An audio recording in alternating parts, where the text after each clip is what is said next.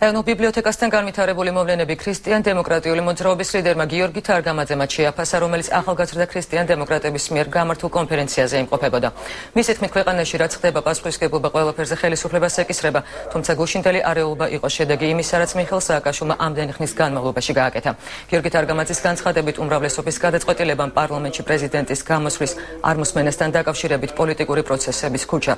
ქუჩაში გადმოიტანა. მაგრამ მე მაინც მგონია რომ აი ეს ორი მთავარი ფაქტორი რაც უკვე ვთქვით თავად სააკაშვილის მიერ დათესილი აგრესია საზოგადოებაში წლების განმავლობაში და საპარლამენტო უმრავლესობის უპასუხისმგებლო გადაწყვეტილება რომლის შედეგადაც მივიღეთ ის რომ პოლიტიკა პარლამენტის ნაცვლად ისევ ქუჩაში გამოვიდა გახდა ძირითადი მიზეზები იმ უბედურებისა იმ სამარცხინო სიტუაციისა რომლის მომსწრენით და ზოგნი მონაწილენი გუშინ გავხდით